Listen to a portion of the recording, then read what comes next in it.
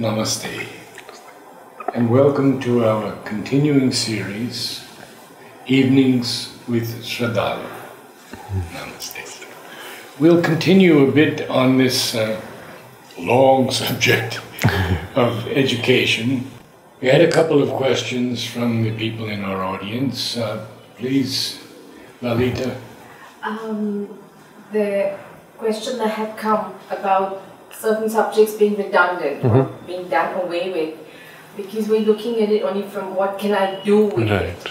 I remember when I was in school, uh, we had a subject, poetry, where we were taught to recite, we were taught about meter, we were taught about the great poets, we were even asked to memorize it. And years later, you can recall those lines, and they come up at the most important moments when you need them. As life lessons, as well as uh, there's so much that, that you can take from it. But you can't really use it in the sense of Absolutely. you know how people look at it for jobs or you know things like that. So what would be considered redundant and what would be considered useful? That there's been this whole shift, and also the confidence to stand in front of people and recite. You know, it gave it made you so much more stronger. Mm-hmm. A lot of people today can't even read. Mm-hmm. I mean, if you ask them to read prose, they can't read because they've never been taught. So mm-hmm. how can we, we bring these things back? How can we let people know that it's it's not just about you know job oriented stuff? Yes, one of the diseases of the modern age is this utilitarian mentality. That you value things only in terms of their utility and often in utility in a job, in a very crude, uh, basic life survival pattern only. And you don't need poetry for that, obviously. You may not even need music except as occasional entertainment or diversion to relax. But what does poetry do to you? If you look at the faculties which are engaged, you described already so many things, including the self confidence to stand before a group of people and recite the poetry. But there, are, there is the other aspect, which is how you recite, the sense of expression, of the meaning you put into the word, and the particular vibration and force that you're able to bring into the meaning, the way you say the word. All of these are faculties which are powers of expression, and with precision and beauty and elegance of expression. There is no other activity in the school education which develops this faculty, for example. And after all that, poetry is something even more profound.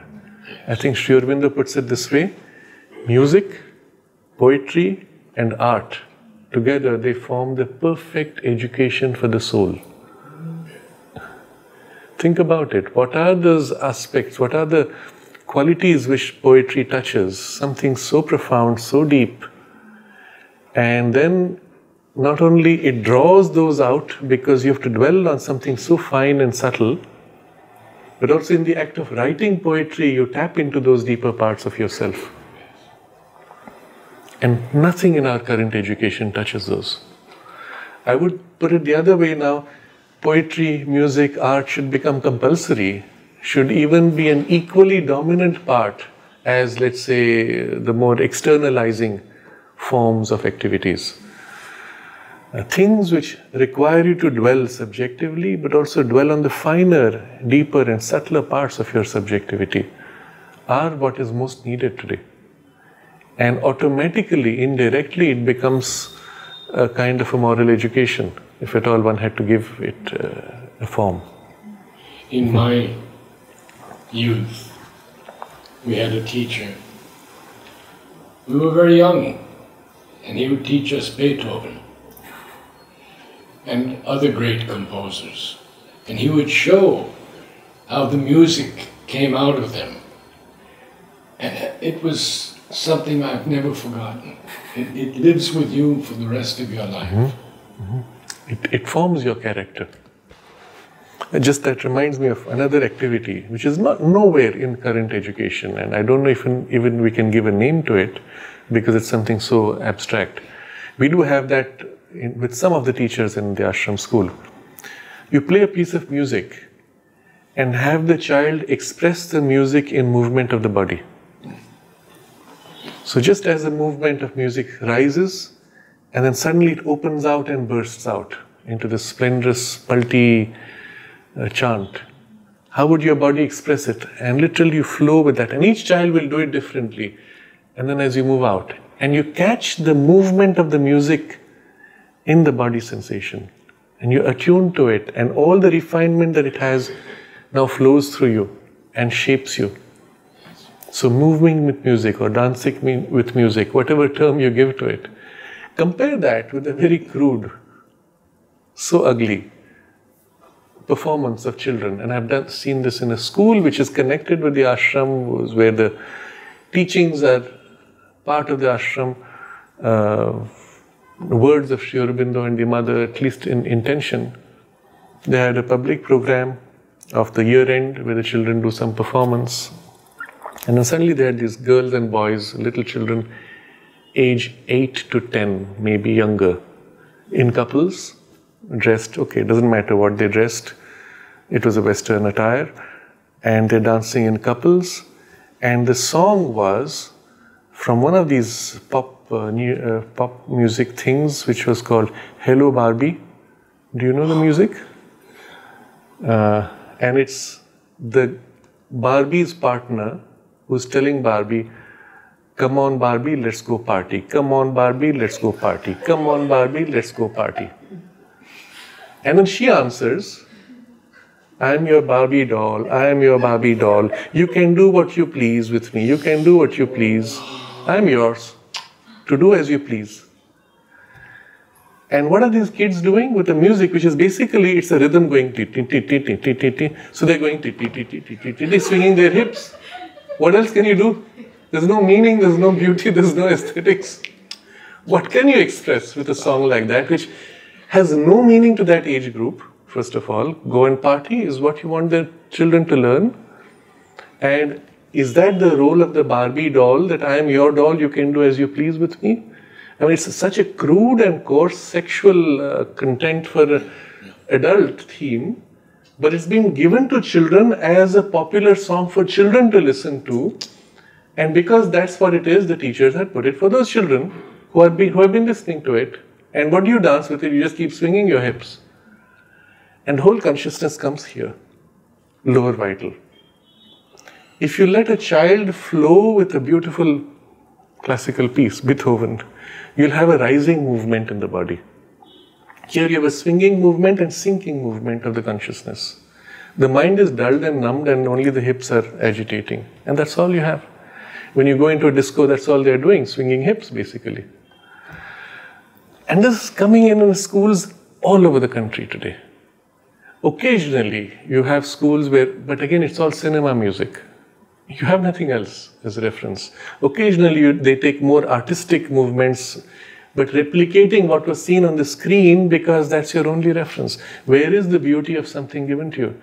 Classical music, uh, classical dance, for example, is too formal, too structured, does not have elements for this uh, group movement. I remember in Europe, and this is I'm criticizing in India. I'm in Europe now. It was in Austria in a school and they, it was again a year end thing. I had a session with the teachers. And then there was this program. And there was one group that came. It was young children with the recorder and all of them together. And the teacher, very stiff, very serious, very austere atmosphere. The teacher goes with a stick, tuck, tuck, tu, tu, tu, tu, tu. They'll start playing. A very complex, rich classical piece it's clear they've worked very hard and they're playing it beautifully. Of course, it's too mechanical, it's too serious, there's no joy because uh, it was a suffering for them to go through that. And it finishes, and everybody claps. Of course, you had to clap, it was beautifully done. And then comes the other side this uh, girl and somebody with a guitar and they hold the mic and they start swinging their hips, twang, twang, twang, twang, and jumping around. And with a twang, nasal American twang in Europe, they sing some popular rock music, something. And it's, it's got a strong beat, So this go boom, boom, boom, and after a while the audience starts moving, boom, boom, boom, and after a while the audience starts clapping with the beat, and everybody is excited, and these people are singing out of tune. There is no structure, no beauty, no aesthetic, but they're happy, expressing themselves, and there's a freedom and joy of doing it. And I said to myself, this is the future of Europe. Either chaotic joy or austere, rigid, stiff harmony. You don't have the thing which is needed, which is a beautiful, collective, joyous, free expression, but which can be harmonious and uplifting. Somehow the two things represented the split of these two faculties. And if they could be brought together, if the formal, more structured classical piece could be made more flowing and joyous, or if this flowing free play could be made more elegant and harmonious and more highly expressive than just a coarse uh, emotional play which passes as freedom. That's the, the correction required. But I don't see that happening. It's difficult. It can be done easily.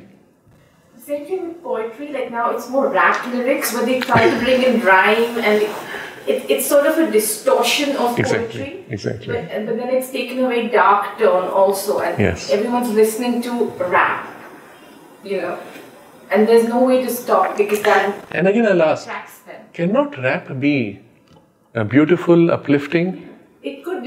It could be, but But what you get is actually heading for something very dark, and that's what is promoted. I would like to ask you a question about the mother system of education, going back now nearly 80 years since she started. Is there any place in the world that is even attempting to replicate this? We have lots of schools which have drawn inspiration from the work done here. And I will even, put it not always consciously that they tap into that, that inspiration which was brought of what was created here and the elements taken in.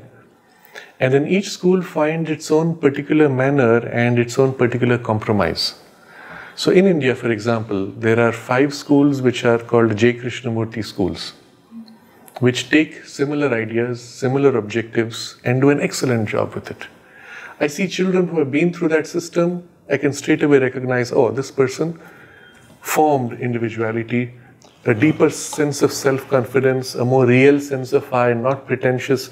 You look in their eyes, you can see the person, not an appearance, not a dullness or a um, hypocrisy. They're real people. And all of them, of course, have a deep connection with that space. And that's one good example. But these are schools which were set up, what, 40 years ago? Hmm. Maybe more? Hmm. Why aren't there more of these? It didn't happen because, and I'm speaking of India, the government had this enormously restricted system to control education. And it is a remnant of the British colonial phase where anybody setting up a vernacular school had to have government permissions and fit into government standards. But people setting up English schools were free to do what they wanted. And people setting up schools under minority institutions, which generally meant church control, could do exactly what they wanted. Hmm. So often, what happened, the free space was given to the church schools, and the vernacular schools were the worst because they were oppressed by the bureaucracy and the government controls. And it's only in the last, let's say, five years, at best you can go back 10 years, but I'll still say five years is more like it. There has been sufficient liberalization of the educational space that people began to start their own schools. Everyone realizes something is wrong with the educational system. Every rich person now wants to open a school because it's, first of all, it's enormously profitable. Enormously profitable. The most profitable business you could have. If you do nothing and just have it work like a machine, dehumanizing, of course, but you make lots of money. And you can multiply your schools. Literally, you can double your entire school uh, structure, infrastructure every two years. That's the kind of money you make, pure profit. But that's not changing anything, it's just perpetuating the same perversion. But a lot of people are coming into it, seeing the profitability but wanting to make a change. And often there, uh, it makes a nominal change. But the people who are building in it are coming from the background of the old mind. So they still measure in terms of performance, exam passing, but they want to throw in creativity, so they bring in a bit of a mix.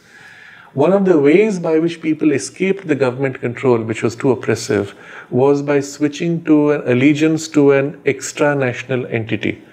So we had the CBSE and ICSE curriculums, which were both government controlled and very oppressive.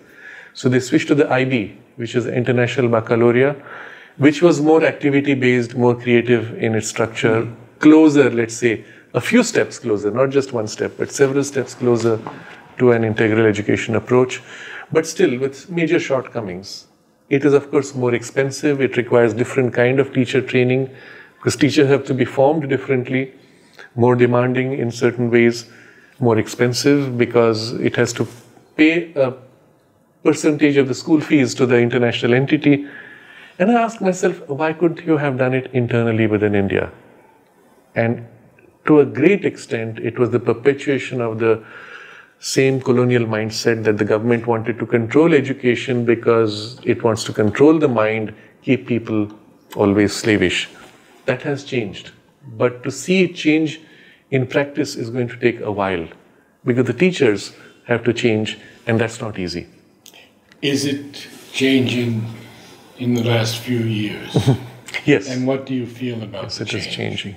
So, but to complete the earlier part of the question, Montessori system as well as, as the Steiner system, Waldorf schools, these are already in close alignment to the integral education approach. Both of them also being contemporaries in some way to the work that Sri Aurobindo and the mother did in this field. But subsequently, you don't see anybody else doing something as radical. But uh, right now, the effort is on. But then what happens is when you hire teachers and start making a change, you are facing first resistance in the teachers because they are used to a certain way. Let's say the teachers are willing and able to, but they still need to go a process of transition which takes at least, in my experience, three to four years before it stabilizes into a new rhythm. But then there's the bigger problem, not of teachers. Teachers are well meaning. Your management is well meaning. Your school is ready. The parents are the next problem. Because they love their children, they are going to say, What happens when my ch- child passes through your school and then wants to get into a job? Are you going to get high performance in marks? And that's the pressure of society. And with all the good intention of the parents, you face the struggle that the parents will say, that other child in the other school already knows all the maths tables by heart. My child in your school doesn't know maths tables by heart. So you're doing something wrong. So you're comparing now performances.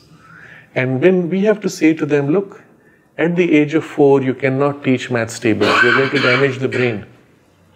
You have to tell them you're going to damage the brain. And if you don't explain it, they push back and they compel you now to go to some kind of a mixed uh, mode. Even then, they don't have the confidence.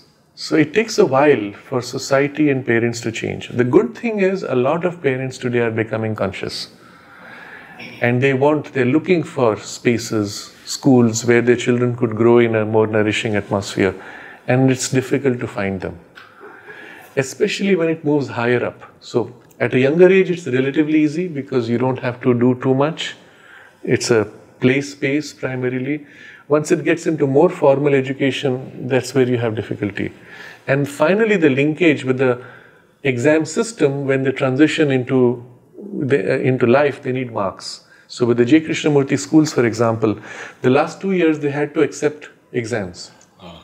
Our school gets away with it in the ashram without exams because the government gives a special recognition that allows any child of our school to sit for a, any entrance exam and prove themselves. But if you want them to take a mark sheet and get entry somewhere, which doesn't have an entrance exam, then you have to plug into the national uh, exam system. So the J. Krishnamurti school in the last two years, they have to do that. The moment you start doing that, it starts rippling back. Hmm. One year before, now you're preparing for it. A year before that, you're preparing for the next step. And it corrupts. But in spite of that, what they've given in the early stage is so good that the children are fundamentally different. I've had this experience again. I go to someone's house, and this has happened many times. The child, now maybe in the teens, mid teens, comes in, brief interaction, and I look at the child and I say, My God, what a clear, formed, healthy individuality. And when I have now come to recognize that quality, I ask the parents, Was she in a Montessori school? And they say yes, mm. inevitably. Mm. Now, Montessori school typically stops by the age of 10. Very few attempt even to go further. But the, that period, what was given, stayed and has stayed in such a healthy way in spite of the rest of the system, they have come through stronger and more healthy. So, in a way, if you can take care of the early phase, the later phase, however mixed, we will find our way through. it was the Jesuits who made this observation. Give your children to us till the age of six, and we will determine their whole life. So it's true. Nadezhda, you had a question. Yeah, you talked about uh, development of different faculties. And should be any subtle faculties development be included into school program or mm -hmm. maybe kept separately? so can you just elaborate on this, please? Whether school education should include subtle faculties, by which you mean parapsychological? Yeah, some kind of. Okay telepathy, psychokinesis, mind reading, sensing, sensing subtle things. mm. not, only these, but also to understand high music, there's some psychic development. Yes, yes. Some, yes. Something higher than just what Yes, yes. So let me first touch upon this part and then we'll go to the deeper soul aspect of it.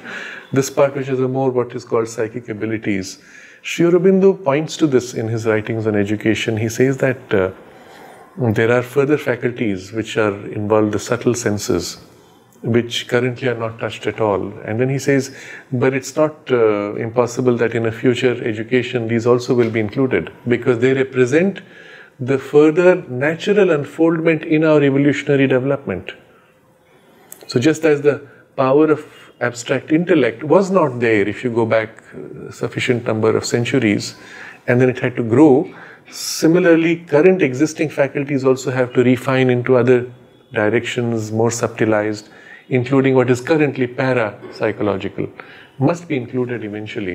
And there's a very interesting example I saw, and you'll see videos of it online today on YouTube. Little children in the age 10 to 12 who have this ability to read your mind and the person is given a blindfold, the child has a blindfold, and then she tells you, think of any word. You enunciate the word in your mind or a sentence, and she tells you what you were thinking of. Very interesting. And uh, they are taught that. And some, of course, are more skilled, some are less skilled, but anybody could be taught that. I don't know what process they use to teach it. I also wonder how useful it will be Certainly, it'd be useful if you want to be a spy. Then you sit down next to people having a coffee and you listen to what they are thinking. it's very useful faculty for that purpose, anyway. But to do it for young children, why would you do it with young children? Because they are open to it. If you try to teach this to older children, older adults, you have to first pass through the filter of the part that says it's impossible, it's difficult, I can't do it. Or they slide into the normal rut of pattern of thought or experience. And so it's as if you have to catch them young enough before it has formed, and then you can develop many things like this.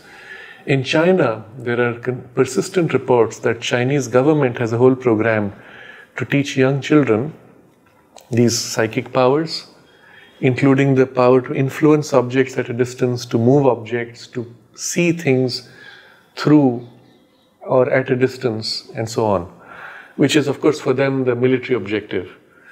But it's easier with children. Bending spoons is one of the forms in which uh, you know you can show that the mind influences an object. I've seen it happen recently. I had occasion to do it. I think I mentioned it once.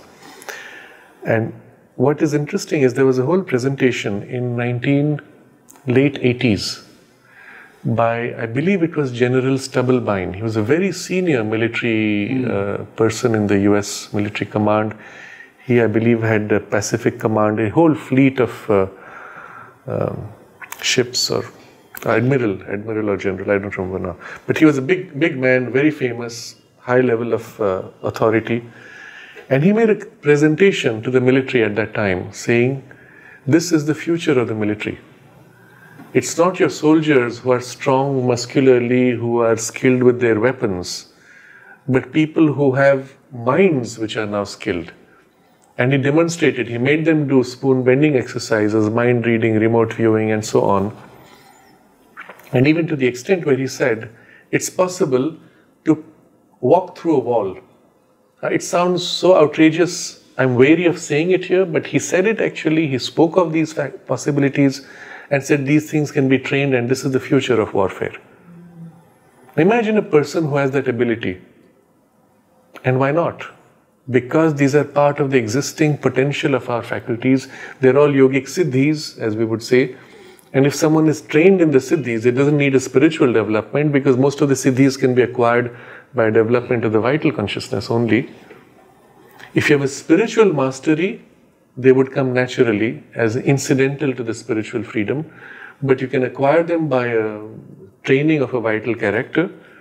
Wouldn't that be the future? That you walk through a wall, read a mind, bend an object, or one of the things they do, they send a punch of energy which can even bend steel. Because you're operating at a level like the spoon bending. You don't care what the material is, you can bend it because it's steel, it's metal, you can bend it. So there was a whole line of thinking, and then it all went black. They suppressed that whole thing, it went behind the scenes, we don't know what they did with it. But if you can train adults, it will eventually become a part of human society as a potential, and of course, children will be part of it now maybe premature, but what is relevant, and this is what is important for us, prepare them for the higher faculties of the mind, which is intuition. Prepare them for the deeper sensitivities of the soul and psychic being, which is the basic psychic influence and its subtilization and the turn of its heart to the beauty, the true, the good, and the discrimination of what is right and what is not aligned to that which is divine. These are two things which represent our immediate spiritual evolution. And to prepare for this would be an essential component and it is independent of age. You would begin as early as you can, and it would begin with an environment which is conducive to the psychic sensitivity, with the teachers themselves trying to live by that a space which is full of that vibration, and a child will grow into it spontaneously because it's full of that vibration. Subsequently, all your methodologies of teaching would take into account these principles. And one of the ways it would it should not be done is to scold a child. The moment you scold a child, what's the first thing that happens? Child closes. Second, you have created fear and with fear, the psychic influence is going to be covered up. And with fear, the child is going to hide. The child will deceive. The child will lie because you scolded. Very simple. And if you want the psychic to lead, the soul's values to guide the personality, you cannot allow fear. At whatever cost, no fear. What do you do then? A child makes a mistake, well, let's deal with the consequences. What happens as a result of this? let's follow through. If you did something which was intentionally harmful, well, now you go and apologize, correct for it, set it right, do what you know to be right. And it can be done in ways which are affectionate and caring, where you act by psychic values. You cannot say, I will act by my conventional values and expect the child to grow psychically. So the demand on teachers is enormous. And mother expected something far more than what we achieved even in the ashram school. You know, in the story of the ashram school, when the mother started the school, where there were children, they had to be looked after, they needed to be taught. a few people were given that responsibility. All of them came from the old educational background. Sri writings were there, mother was there to elaborate, her commentaries were there, but none of them cared or were aware perhaps. And then one day, it was uh, uh, Tanmaya, who, Tanmaya. Tanmaya who came, to, who told us this. He said, he went to the mother and said, Mother, Sri Aurobindo says like this, but this is what we are doing in the school. It's completely the opposite. And mother says, At last somebody is thinking. she had been saying things for so long, but that's how the human mind is. So she had to struggle through so much of this human dullness or inertia or even outright refusal. So Tanmaya was encouraged. He started his own uh, activity section, which was called Free Progress, and whatever grew out of it. And there was a split in the school. There were the teachers who refused, who opposed, saying these are newfangled ideas. We don't believe in all this. We will do it our way. We know better. And the others who were in this. Now, why was this important? Because it represented the struggle of the old world against the new world. And if it had to happen at that point under mother's uh, direct supervision, well, you can imagine it's a universal problem. And that's what we are seeing today. So there's this whole old world, and then there's this new consciousness, and there's a struggle ongoing. So when you ask, is it going to happen? Is it happening? Yes, it's happening, but there's the struggle. Some of these people of the old world were very well educated, Yes. very highly evolved. Very formed in their thought power. Yes. Yes. And still they resisted. Yes. Because of a fundamental block or lack of the inner psychic, uh, let's say, sensitivity or perception. We just we already covered about parents and education. What should teachers of such school look like? What kind of training should they receive or keep on receiving along with teaching practice?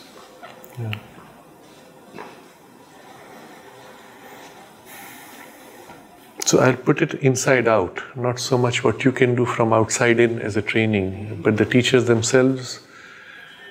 If we take this as a standard, and now I'm going to set aside everything else regarding the education, just these two values of the psychic and the intuitive. The teachers themselves must be already seekers, adorers of these values. It doesn't mean they have attained to anything exceptional, but the fact that they're seeking is already good enough. There's a very interesting conference that took place many years ago. It was in one of the centers associated with the ashram, and it was organized where five people were given the themes of physical education, vital education, mental education, psychic, and then spiritual. And so everybody went through their physical, vital, mental. When it came to the psychic, there was a person very highly respected, very deeply um, Uh, sensitive in his and very creative in his expression. He said, and he said, he stood up and he said, "Who can speak about psychic education? We have no right to speak about it until we have realized our psychic. So it's better we keep silent." And it was so sad because it's a huge error.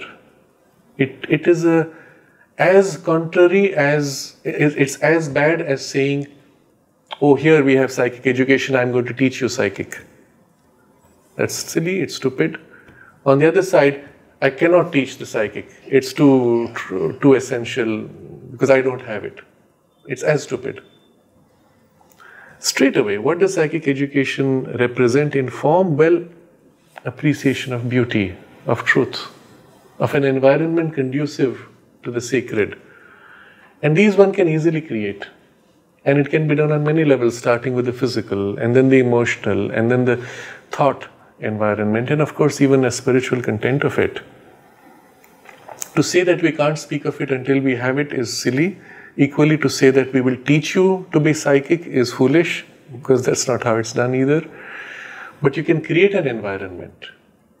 And so, what should be the requirement of the teachers? That they themselves seek that and then as they grow into that, the environment grows with them, which was what the mother attempted here in the ashram. And it worked with those teachers who were genuine, who were sincere in their own way. Some of them had their own peculiarities, which mother had to intervene to correct. So there was one teacher who said, Well, you know, nothing can be taught. So we are all going to sit down, close our eyes, and meditate, and the knowledge will come of its own. the teacher had to be removed. But the idea behind that is the principle is that obviously you're going to help through an environment and through an activity to grow, but or the teacher needed training, I don't know. But with goodwill, with a certain state or quality or sensitivity of sensitivity of heart, uh, all the rest can be taken up. A simple goodwill would be your starting point, and a general alignment to this ideal. So the teacher would tend to become inevitably in some mode of self culturing. I'm avoiding the word yoga, I'm avoiding the word sadhaka. Mm. Self culturing, culturing of consciousness, and refining, growing, etc. And that itself creates the environment suitable for that. So, what would the teachers look like? They should be in constant mode of self culturing, minimum. Then, as you go into specific areas of specialization, you would need uh, specific tools and competencies in those areas. But if you have this much, I think the rest will be done because you are helped. And just as there are regressive forces, there are so many energies waiting to pour, so many possibilities, and all they look for is a few people of goodwill and aspiration. But you spoke about not scolding a child. There were teachers who hit children. Yes. And yes. that's even worse. Yes. Yes. Even in the ashram, it happened. Even in the ashram, yes. Mm. Fortunately, in the human evolution in the last 50 years, that is considered unacceptable to hit a child in any in any school anywhere in the world, except the most crude, which are still belonging to a perverse uh, stage. But in any reasonable school, it is unacceptable that you hit a child. Corporeal punishment is out. That's already big progress. But the mass grows slowly. And it is led by the small focal points, which will be the entry into the new consciousness and the new world. We need more of that. And one of the ways it will happen is by decentralizing the educational control, allowing spaces to evolve in this way. There's a recent phenomenon I've come across, and I find it happening all over India now. Little pockets, parents come together to form their own little school for their children.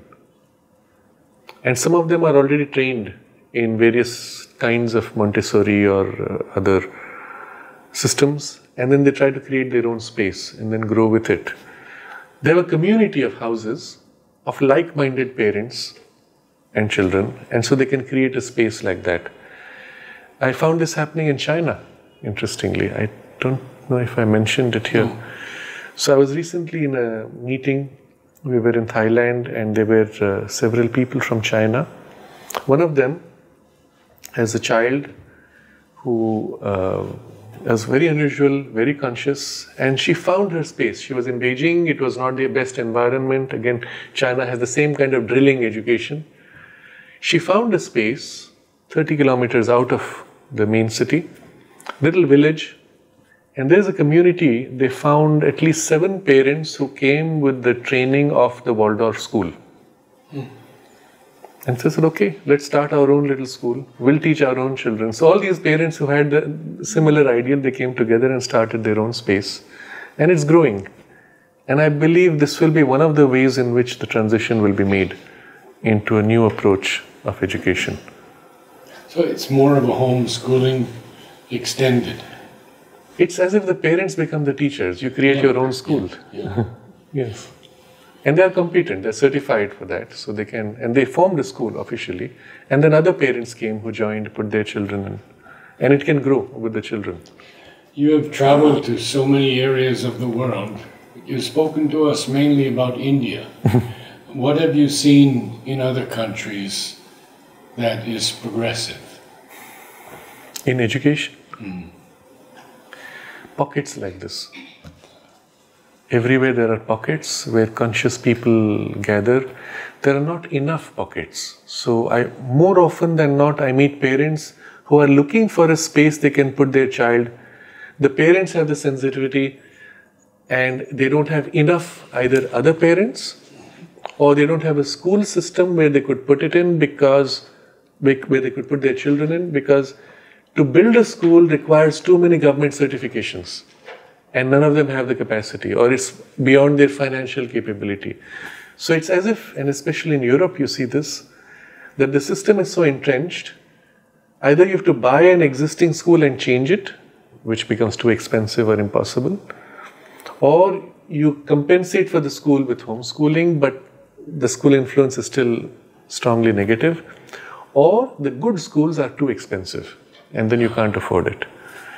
What happened in the example I gave in China is much more interesting because parents could come together and form a school, which I am surprised the Chinese system allows that.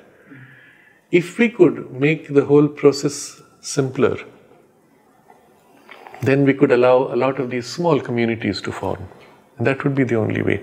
Otherwise, I don't see much. The best schools are too expensive. Waldorf school is a good example, too expensive.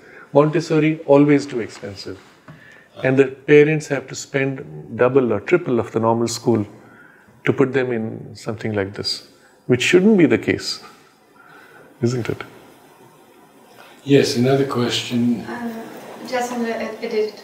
In Russian, you can see um, uh, around 300 uh, eco groups community where the people creative also uh-huh. group they uh, uh, uh, left uh, city and go to the forest or wild and make some groups mm-hmm. and live together in like in community. Mm-hmm. Yes. Uh, and also in the south part of uh, Russian, uh, near Black Sea, mm-hmm. the new way the school, not only Montessori or Waldorf, and school of Shetinin, the mm-hmm. government held, okay. where the children um, teach other children. It's a very, very interesting Excellent. experience Mm-hmm. and it's a grow up. Okay. Senior children. Yes, yes. Yeah. Peer learning. Peer learning. Excellent, excellent. And, and the age yes. also together. Okay. Yeah, very interesting. I didn't know about this, but this is the way it will it will have to happen yeah. increasingly. And these may become little schools of their own. And at some point, when the children are sufficiently formed, they could go into more formal environments for the higher learning where it, it may not matter so much at all. Hmm. But that's the advantage of Russia because the period of communism has created a fertile space for community formations. And that was, I suppose, the whole point of that, uh, that phase. What you see in most of Western Europe is fragmentation of society the community is getting more and more fragmented. And the sense of sharing is almost gone, or the people are so extremely lonely that even it gets to the point of being desperate. But when they do meet, they are so desperate to reach out that suddenly a community forms. And especially if they come from a more refined background, they're looking for others of that type. If they meet then it's very interesting to see how very quickly they work, they care for each other and work together. You don't see that in India. In India, it's uh, much more each one to yourself because there's a scramble. There's not enough of opportunity, too many people. So coming together to cooperate is not so easy. It'll change now because that tide has changed. The sense of lack was a remnant of the colonial phase uh, earlier, the Indian culture always had an excess. It always had more to give. Nobody ever went hungry until the colonization started. Then the whole thing was reversed. You were taught to live in extreme of distress in, and insufficiency. That phase has flipped, let's say, in the last 15 years about. But it takes a while now, and I think the new rhythms are emerging. But when it happens in India, it will be similar to Russia because the sense of community is still very strong in India. What about uh, somewhat spiritually advanced people like Sufis? Mm-hmm. Have they done anything?